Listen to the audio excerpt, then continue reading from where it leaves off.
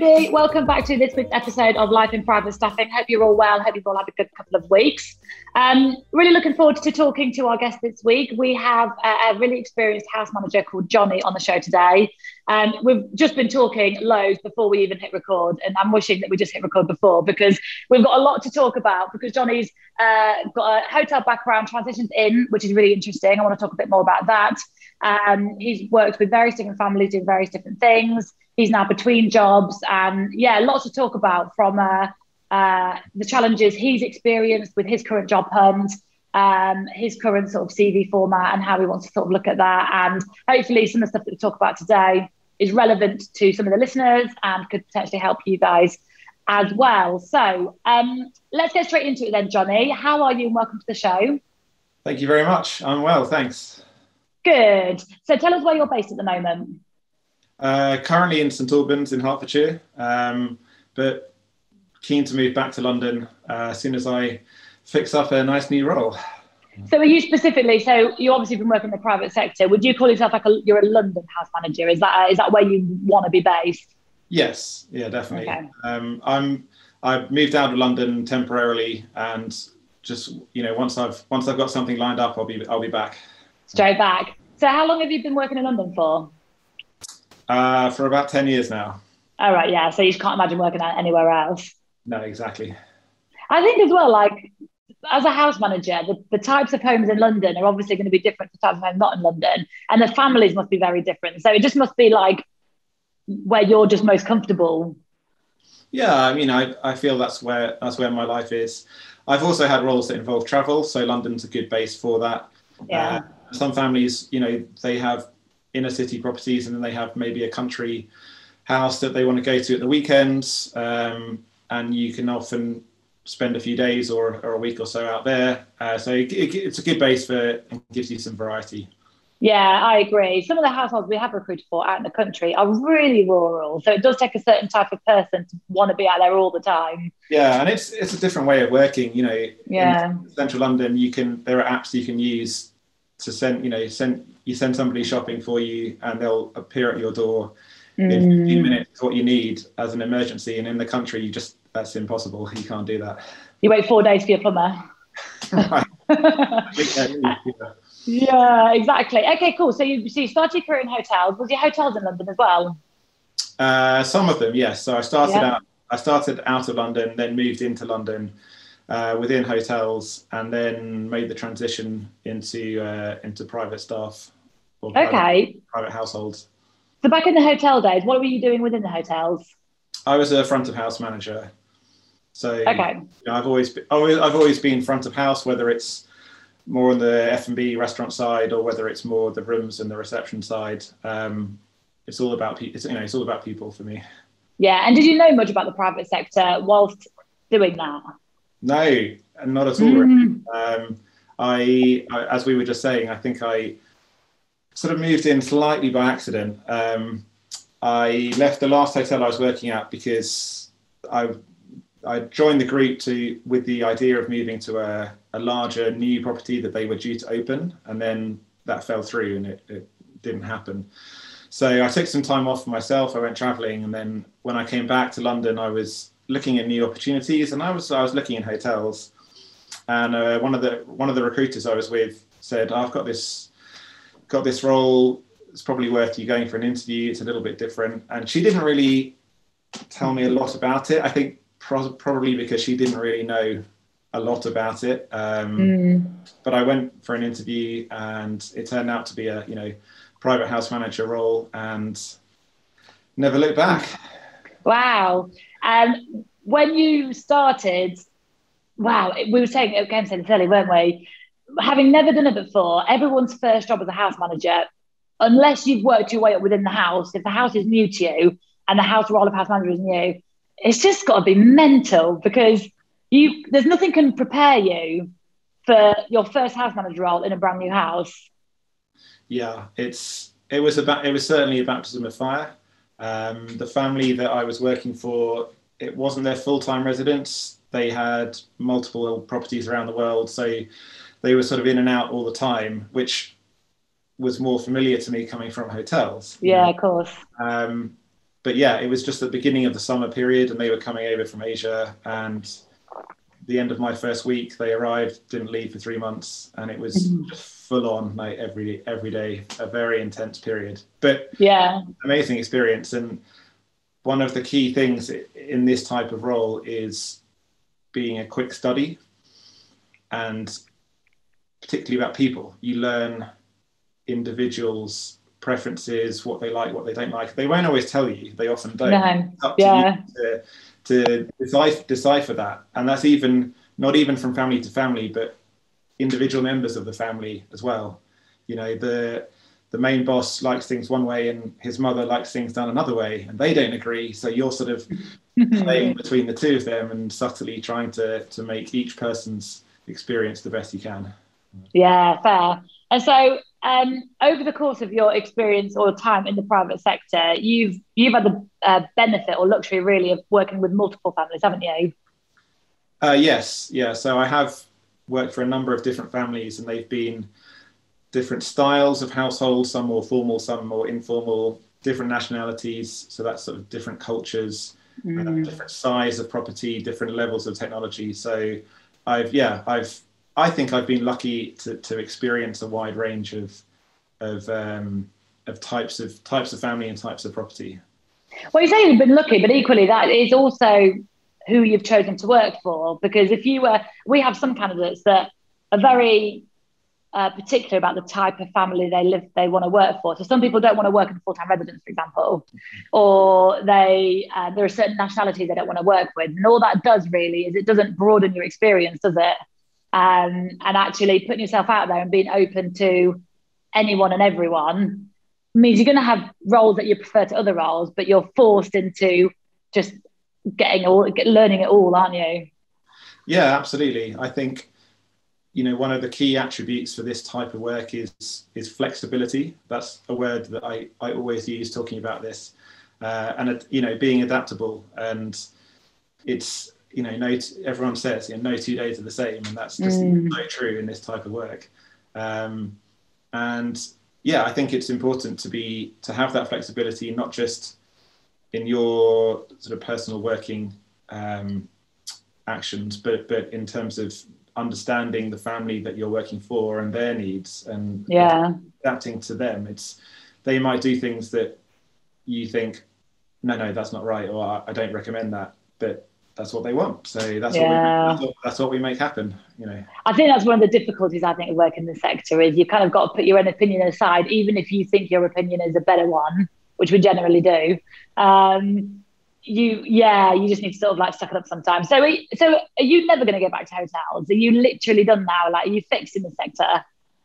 I think I think so. Yes, I remember yeah. when I first made the transition. Um, a lot of my friends from the hotel industry were were asking me, you know, oh, when you know, are you going to come back to hotels? When are you coming back? And uh, the long, I think the longer the longer I've I've progressed within this industry, the, the less I see myself going back. Um, yeah. There's there's you know there's some sort of key differences. Uh, it, it is a more volatile industry, um, and it you know it's it's it's far more difficult to find the right fit. Yeah. Find that family that that that is right for you. Um, but on the flip side, you know, there's you have a lot more autonomy. There's um, the variety is huge. I mean, you know, you can be asked anything on any given day. Mm. Um, you can be asked to travel at short notice, um, and the salaries are better. But yeah, you work very hard for it. yeah, and you're on call all the time. Yeah, yeah, that that can be a challenge, particularly for you know people uh, in your in people in your life outside of the industry you know partners family friends who don't always understand that level of of of service i guess and yeah being on call at funny hours um, and one of you know that is one of the challenges because it's such a small team so mm. comparing it to hotels you work in a department you've got a deputy you've got staff and, and team members who can share the responsibility with you. And if you go on holiday for a week, you give them a handover and they'll cover yeah. for in a private house, particularly in a in a more senior role like a household manager. you're it. You know, you don't. Yeah. so it's it, it, that's that is one of the um, one of the harder things, you know, about about the industry. Yeah, we don't talk about that much, but the sacrifice is is mad. So like, if I try and imagine if my husband, for example, was a house manager, I'd be raging. There'd be so many situations where I'd be raging. So like, you are not leaving me with the kids again.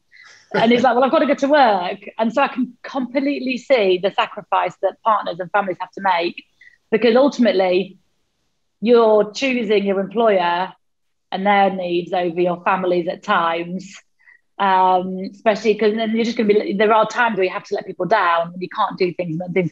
My brother's a house manager and like he's had to, he's not gone on family holidays, for example, and the family still goes. And yes, he's the one that's lost out, but they've also lost out. So that is definitely, I think, something that one of the things that people that are thinking about coming to the industry need to bear in mind is um, you need to be flexible, mm. isn't it? Yeah, absolutely.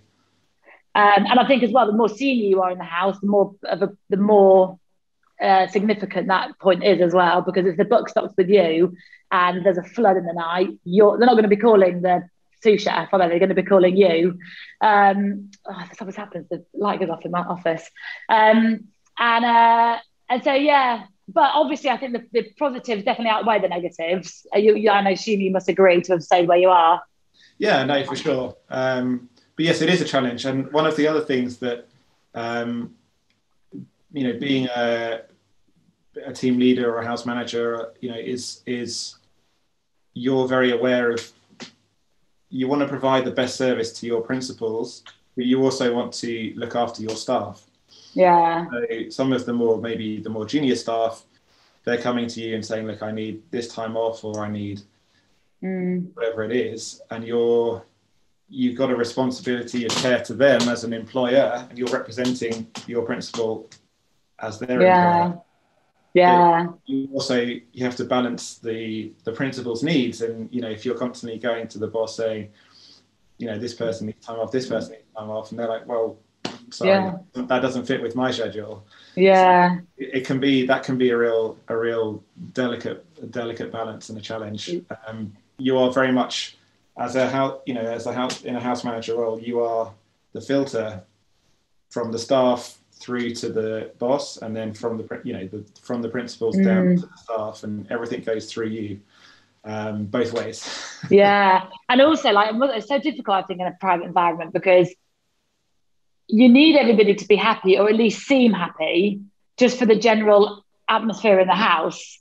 But obviously, you can't please everybody all the time. So there must be situations where you're having to um, discipline junior staff or just give feedback or tell them no, they can't have a holiday. They're going to be raging, but but none of this can be visible. So it's keeping that, uh, just not letting any of that affect the sort of atmosphere in the house. Like how what a delicate situation some of these are, isn't it? Uh, definitely. I you've got to be you've got to be a bit a, a pretty good diplomat. I think. Yeah.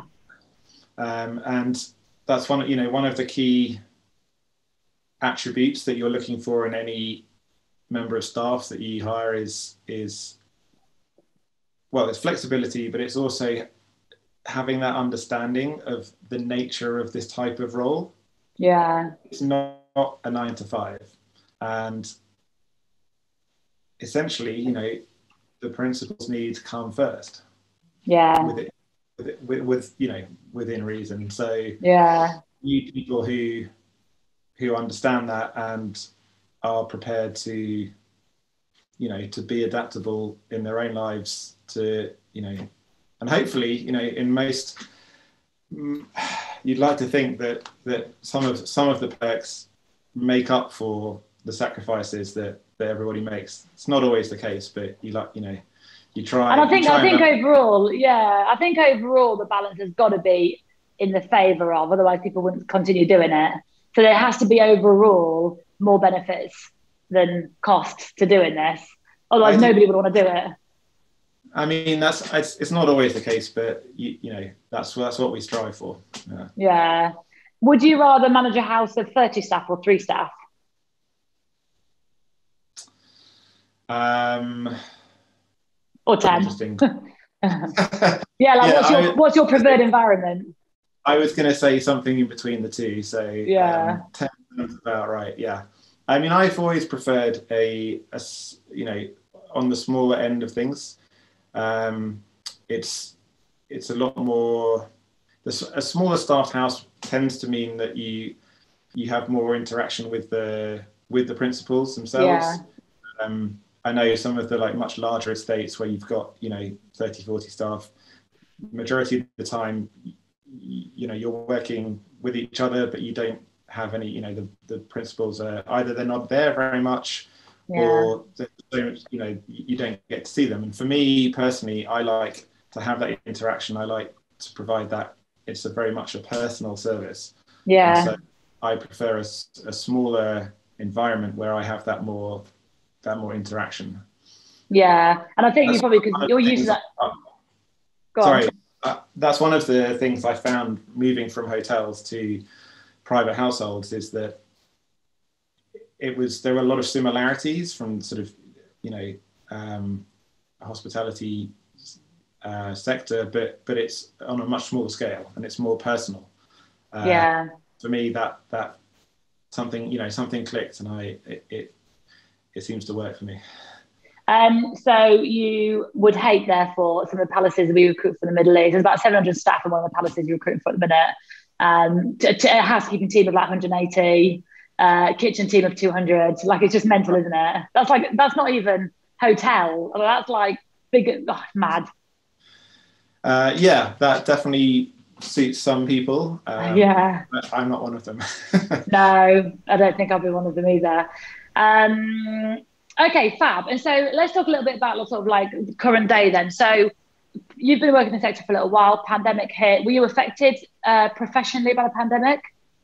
Uh, I was very frustrated. Yeah. I'd started a new role um, December 19, um, and then mm. you know everything happened, and it was a newly created role. So there was we were in a period of figuring out what the nature of the role was going to be, and the long you know the longer that the pandemic went on and the working from home situation happened, uh, it they they decided not to continue with the role. It didn't work out. So mm. for me personally, very frustrating. Um, and obviously, in the last few months, it's been a challenge looking for a new role. The market has been well, it was very slow. Then it sort of picked up again, and then it's sort of gone down. And I've been put forward for quite a few roles, and then for no, without really any explanation, they've just been put on hold.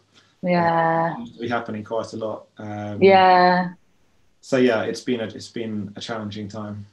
Yeah, like, and I've spoken to so many people that have been so severely affected, and there's a lot of senior people as well, because I think I feel like it's affected people for so many reasons. But one of the main one of the main reasons is some of these principals will have, you know, three or four properties in the UK all fully staffed because they'll flip between them all, and then they've just been residing in one, and therefore they've just not needed like three housefuls of tea, like three teams, um, and they've just kept their sort of skeletal team there. Um, but then, who's recruiting house managers during a pandemic? If they're going to sneak anybody through the back door, it's going to be housekeepers or cooks or nannies because that's really what's going to help their life more and more. But if they have a house manager in their house, that house manager ain't going to go anywhere because where they're going to go to, even if they hate the job, they're not going to leave. And so therefore, the role's just not created uh, the roles not become vacant, and then no new house manager roles are being created because no properties are being bought or moved into all the rest. So it's been completely stagnant mm. for senior members of the house, which we've definitely seen. And then yeah, this whole going on hold business, ugh, bane of our lives, is moving now. But the beginning, the minute there's been a release of lockdown last summer in January time, oh yeah, let's get the ball rolling, let's recruit. And then all of a sudden, if lockdowns hit again, or if it's all of a sudden on hold, and it's just like it's just a waste of everybody's time, um, apart from theirs. Yeah. Um, and it's also, you know, you have to realize in this industry that the people who are recruiting, you know, it's the family office, it's the PA, it's not an HR department, and that's their full time focus. This is, yeah. Sort of, you know, way down there, probably way down their priority list. Um, yeah. That's why it, the entire process is very slow, and it's slow to get feedback. It's slow to get an answer. And I, you know, I'm off, I'm always chasing recruiters. Yeah. And they saying, "I'm really sorry, I just we haven't heard back from the client." Which, yeah.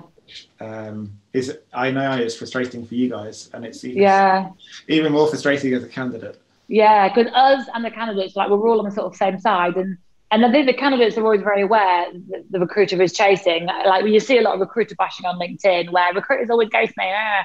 It's like, look, if we could make money, like we could place you, like we're, we're in this as well. Yeah. But um, it's um, yeah, it's just the feedback.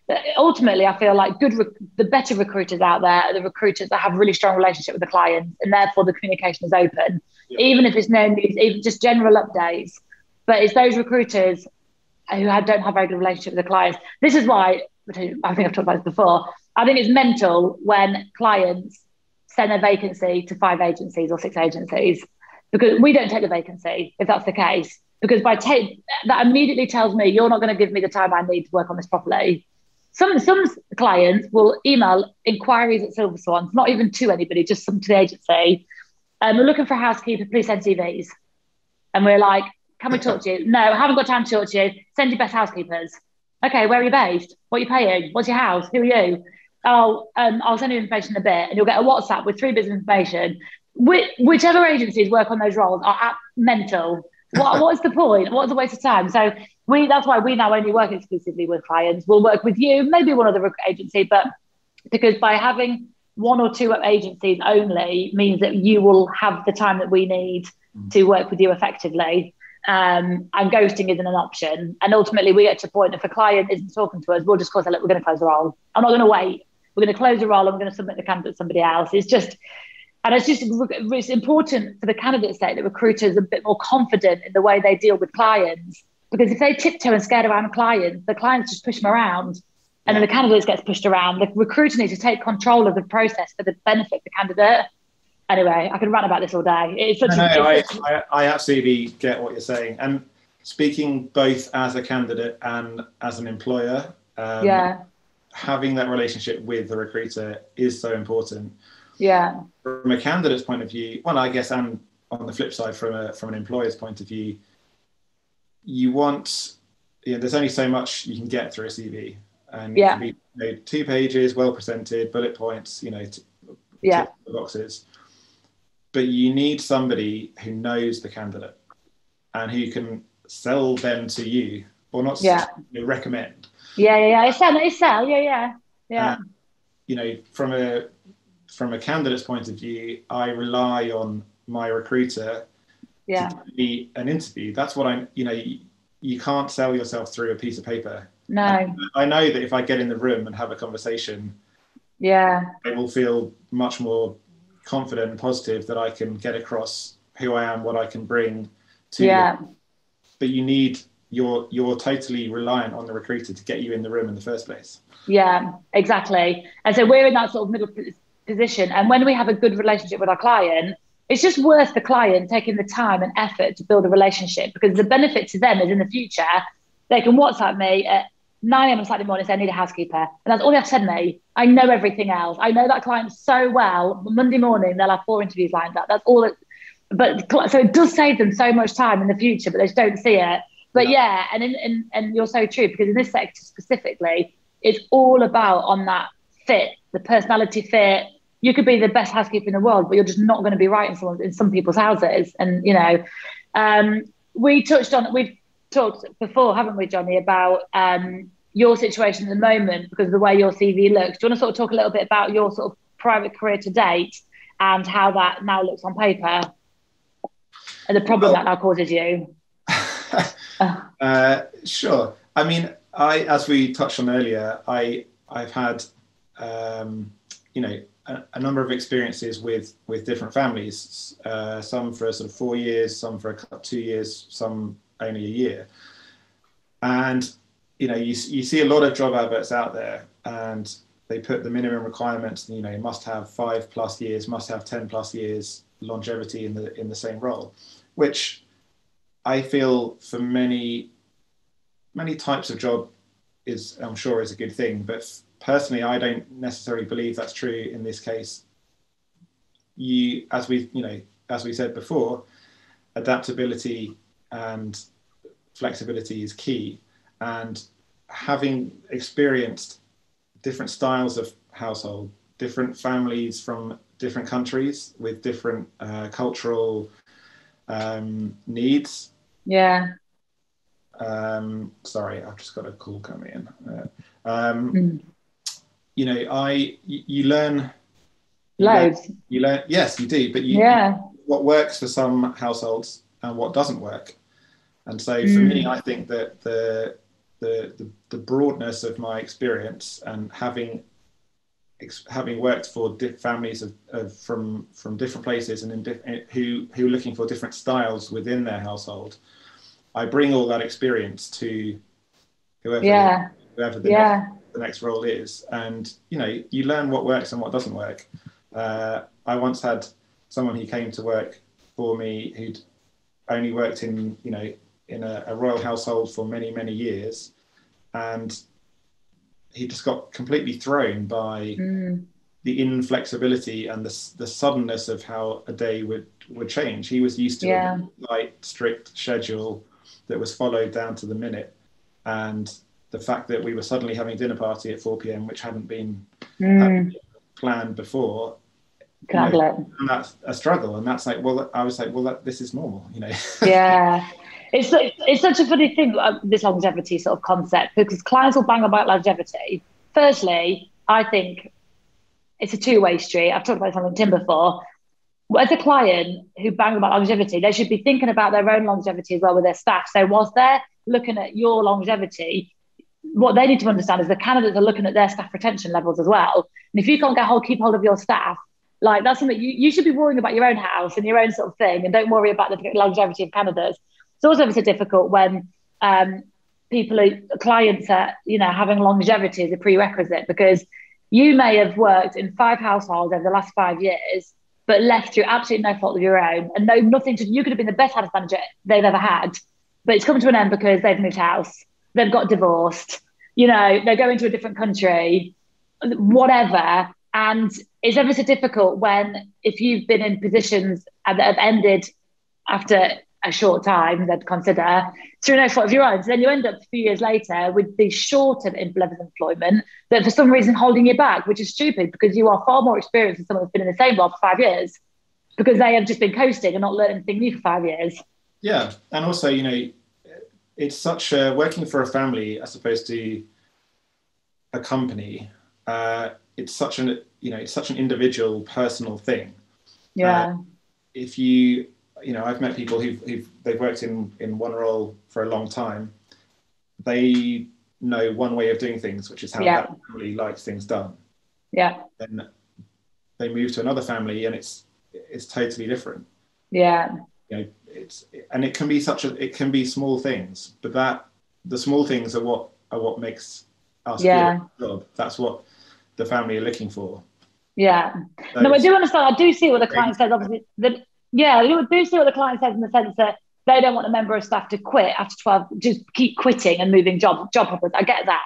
But when the role ends naturally, so my, my advice to somebody who has done shorter stints than they'd like and on paper would look like they can't hold out a job, you know what I mean? And um, I'd just make it very, I'd always have a reason for leaving at every single job. So make it very, very clear reason for leaving. And the other thing we talked about earlier before we started recording, and something that I think firstly, I think everybody should do now. Every private service professional applying for a job should do this, especially those that feel their CV is weaker than who they are. Do you know what I mean? Is um, start using video technology to represent yourself in job applications. We talked about this earlier. Um, some people, not many people, people don't do it because they don't like doing it. But ultimately, the way the world is moving forward, and if your first stage interview is going to be on Zoom anyway, you may as well get comfortable at presenting yourself on Zoom. Do you know what I mean? Yeah. The, the, it's only going to go one way. Um, and I think if you can submit your CV alongside a um, introductory two minute video, they will watch the video for sure before they read your CV. And that is a really good way for people to get to know you a little bit more. And will probably read your CV in a different light, having sort of done that. And I can imagine some people, there would some people would open your video, listen to it, book an interview without looking at your CV. Other people, to be fair, will look at your video and choose not to interview you based on your video, even if they might have done based on your CV. But that is surely better all round because you're not wasting time coming to London for an interview. Do you know what I mean? If it's going to be a no off the cuff. Um, so, um, yeah, and as you say, it's so difficult because you want to speak to the principal directly about your experience, you'll get an interview that way. And if you get the interview, you'll get the job. But you've got this CV that you don't feel represents you fairly, going to a recruiter, trying to explain to them, and then trust the recruiter explains to them. It just makes it difficult, doesn't it? Oh, absolutely. And the thing is, it's so it's so much about personality, and that's yeah. what that's what you need to get across. And I agree with you. The video, I'm sure, is, is more helpful than a piece of paper. But for me, an interview is is yeah, the, of course, the conversation and it gives you a chance to really show who you are. And yeah, things I have, I actually have had feedback on from previous interviews is you, you know, you, you come across as, as relaxed, as friendly, you can mm. make them smile, make them laugh. Yeah. you're not sort of too people, a lot of people I've, I've met with, they don't what they're not actually looking for anything too formal. Yeah. Very, and even, you know, certain high profile people, a lot of candidates get on edge and they're very nervous and, and stick to the formality. And actually, that's in your in your private house. You don't want that. You want someone no. and is, is going to create a, a welcoming, you know, nice environment. Um, so that's what that's what an interview hopefully allows you to, to get. Allows you to do. It's just getting through to the stage. We're forever think trying to think of ways we can help combat this because it is a problem. And we have the same problem. Like I know I know you really well and we've you've been on our books for a little while. I actually looked at my notes earlier. 2017 was we, when we first started talking if you remember. So like ages ago. Um, but it, frustrate, it really frustrates us as well um, when our clients aren't interviewing the people that we tell them they should interview and it's like um, you came to me wanting me to send you people to interview I'm sending you people to interview and I only interviewed one of them without giving any kind of feedback as to why you don't want the other ones. And it's just infuriating. And as we've talked about before, it's it's infuriating because often it's not even the principal that we're talking to. It's like a PA, and then it's going to go to the business manager or the wealth manager, whatever. And then, do you know what I mean? And it's such a, it's just so tricky. And, it, and it's not so much of a problem in industries where personality is irrelevant. So if it's just a piece of paper, like if you want to be a lawyer or an accountant or a doctor or whatever, it's just can you do the job? But in this industry, like, and especially being in someone's home, that whole knowing the person a bit more is just so so important. Um, as I touched on. Yeah, I, for me, you know, and this sort of links into the various different experiences that I've had. We were just talking about. It's bit some. You need somebody who is able to judge uh, the style of of household you want. You know, and you can a lot of people, you know, they want they they always say, oh, you know, we're not too formal. We like something more relaxed. But you, it's a fine line. Um, yeah. You have to know a lot. I've know I know people have fallen into the trap of being too relaxed and too yeah. too informal, and there's a line you don't cross. So that goes one way, and then on the other way, you know, if they are having a dinner party or they're having important people over if you can do that for you know you can you can switch on the formality and represent them uh, you know it's yeah. you, you, know ideally you've got to be able to do it all. That's, that's do it all. And also re- read the situation accurately. Exactly. Yeah. Yeah. And also as well bear in mind like for relax to one principal could be very different to relax to a different principal. 100%. Yeah. So, yeah, you need to be, there is a line, but that line moves. Yeah. House to yeah, house to house. Exactly. Yeah. you have to, you know, you have to be a diplomat. You have to be a quick study in people. Yeah. And yeah. you get a sense of what works for them, what doesn't, what makes them uncomfortable. Yeah. They we want to start. They won't. Go on. Much like in the recruitment side, you know, where feedback is is useful, but it's not always uh, available. Yeah. Principals won't necessarily tell you what what they like, what they don't like. Yeah. So you don't get that feedback. You have to figure it out, and that's that's part of the challenge of it. Um, but it, it's an important part of of learning to fit into a household. And if you don't figure out quick enough, you'll lose your job because you're not the right fit. And it's like if I'd have known I wasn't, I shouldn't be calling your mate, you should have said, or you should, yeah, they just get and read, read it wrong. Um, we want to start using video two ways as well. So what we think is quite good is we are definitely going to start using video technology to present our candidates to our clients. We're using a, a, a, tool, a piece of software. So clients no longer receive emails with CVs, which doesn't do any favors. And it's also what all the agencies do, and it's totally boring. Um, they're going to receive a link and they're going to log on, they're going to have their own sort of account, and they're going to have everyone's sort of videos uploaded there. So that's cool. But equally, what we think would be quite good to help candidates know what they're letting themselves in for is when we take a job from a client, we want to record that. So you can have this, these meeting rooms. Um, we want to have a virtual meeting room with the client to discuss the vacancy and take the vacancy, which we record, which we then send to the candidate who's considering applying to that role.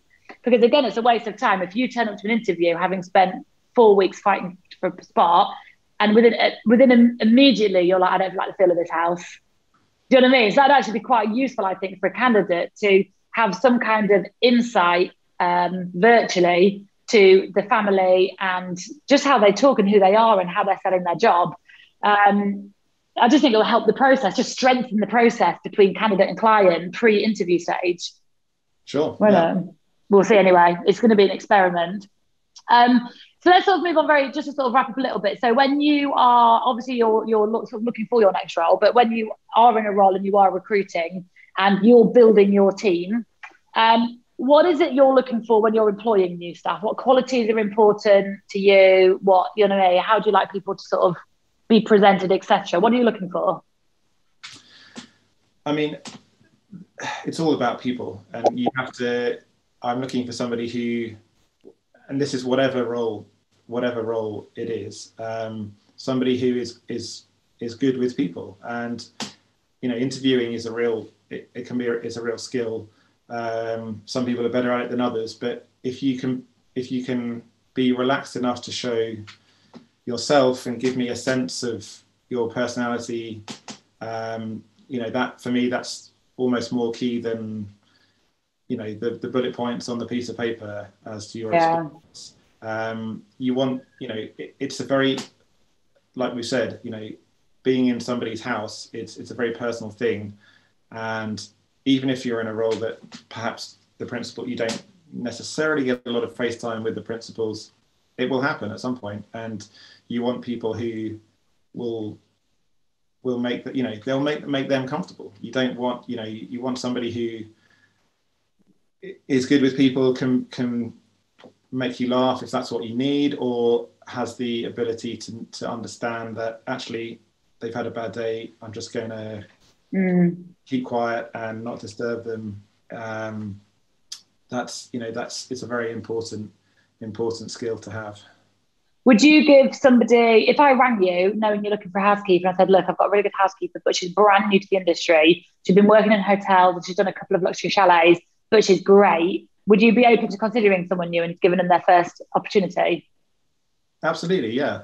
Yeah. Um, I think, you know, I mean, I obviously speak from my own experience, but coming from hotels into households is a good, it's a good route path into it. Mm. Um, and particularly, you know, particularly with housekeeping, there are, you know, a lot of the basic skills are the same. Uh, they won't always be to the same exacting levels.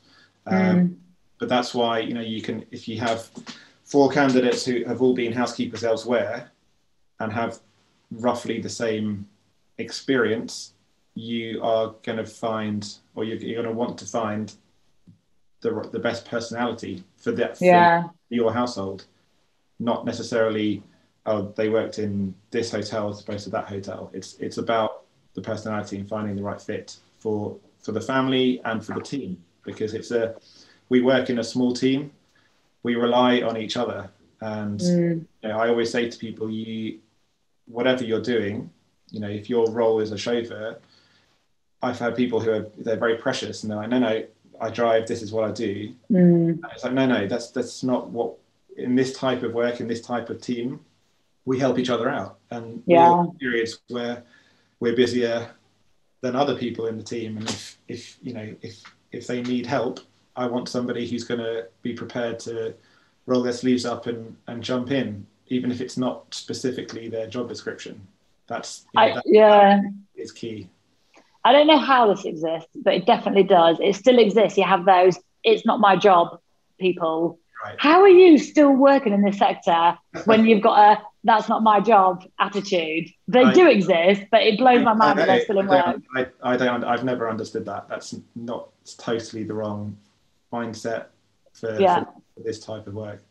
Yeah, exactly. And also, again, look back to like um, giving like giving people the opportunity because a lot of private households don't. A lot of private households, uh, you have to have a working private house, and I'm blue in the face saying why, why, why, why, why. You could have a 20 year 20 year experienced housekeeper that could not do well for you at all. And actually, sometimes it's the ones that you least expect that you've given the chance to that can come in because they're so grateful for the opportunity. They know what chance they've got and they've got a lot to learn and they've got a lot of space to grow in their role, haven't you? Um, you don't want to get someone that's like at their top peak of their developmental capacity and they're not going to grow anymore. Um, yeah, I loved it. Like in, in my office here, I think once two maybe no twice twice out of everybody I've ever employed to work for me at Silver Swan I've ever had any kind of recruitment experience I always go to people that haven't done recruitment before but they know the sector really well and they understand our market. Um, yeah it's mad isn't it? And you know for me as a uh, speaking jumping back to, to a candidate's position for me I that's key. You know I have talked to so many recruiters and you can you can easily tell the ones who have some experience in the industry. Yeah. They get what you're talking about and there are others who essentially are career recruiters and you know some of them are good but you, you know you can tell the ones who, who they don't quite get it. Yeah. Know, Especially- it's it's it's unique. You have to you have to have done it to really fully understand it i think. 100% otherwise you're not going to understand all the sort of like quirks of the clients right. and the uh, and also like the, the differences in right and like we sort of said before like house managers between houses are so different. So different. The role's so different. Yeah it's, it's a very sort of com- complex market for sure. Yeah. Uh, and i think yeah, the, have the same job title but the experience the day-to-day experience between two different households can be so different. Yeah true. Um well, look, I can't believe that, that how much time has passed. Um, so, sort of wrap things up a little bit, bit then. So, anyone listening that's looking for one of the best house managers available in London right now, do reach out because you are available for interview and you will definitely be snapped up the minute the market moves again. Um, so, wrap things up a little bit then. So, what is it? You, what? Why you? Why do you do what you do? What is it you absolutely love? What you know working within the sector? I mean, really, for me, it's it's about service. It's uh, the whole of hospitality, whether it's hotels, restaurants, private households. It's about you know you're looking after people, giving them the best experience, making their lives better in whatever way you can. Um, and you know, in the in the private household industry, I love the variety. I love you know the the spontaneity that comes with it. Um, the challenge of being creative. You know, you're you are left to to come up with things, and you know you get all sorts of weird and wacky requests that really, yeah, it, they they challenge you every day. Um, and yes, it's very hard work, but it it it can be very rewarding. Yeah, I agree. And I think for those sort of those listening that are sort of thinking about it. I do think if you if, if that is a passion of yours, the service side of things, this could be an industry that could suit you ever so well. Um, cool. Well, thank you ever so much for joining me, Jonny. Uh, thanks for taking the time. Um, no problem at all. I'm sure we will stay in close contact and everything that we can, anything that we can sort of do to help you, we will. Um, thank you once again to everyone listening. Um, any questions, any feedback, any thoughts, please do contact me at philippa at silverswanrecruitment.com. You can also connect with me on LinkedIn and I'll see you all in a couple of weeks. Cheers, everyone.